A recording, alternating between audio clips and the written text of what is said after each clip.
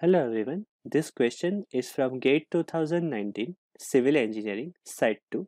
This is question number 5. Hima Das was blank only Indian athlete to win blank gold for India. Now here we have been given four options.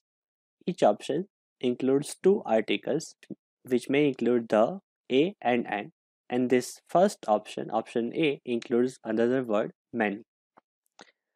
Now Hima Das was the Indian athlete who won a gold medal for India.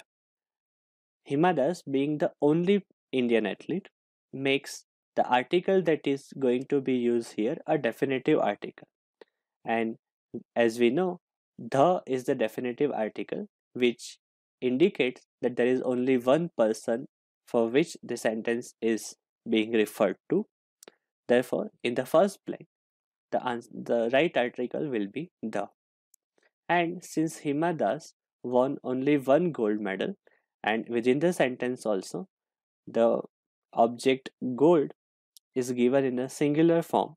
Therefore, the right article here will be A. So the sentence will be Hima Das was the only Indian athlete to win a gold for India. So the right answer will be option B, the and A.